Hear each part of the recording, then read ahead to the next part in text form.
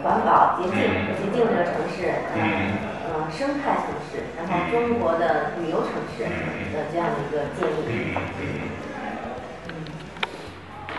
They're going to want to come to see the cradle of Chinese culture. Yeah, yeah, Shanghai, Beijing.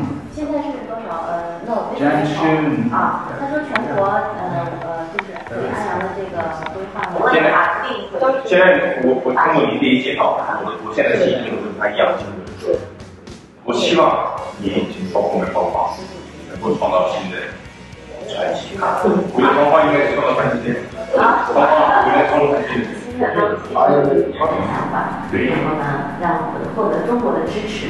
哦，不是说您跟那个如果能讨论那样，当然目前如果您能跟那个市市里面领导来，呃，安阳市政府现在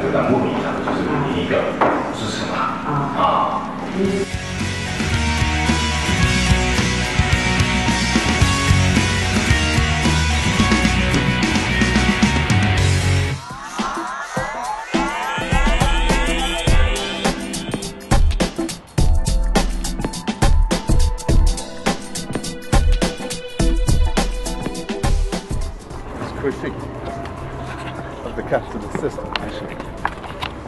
And if you look at it from the correct um, Marx perspective, everything makes perfect sense.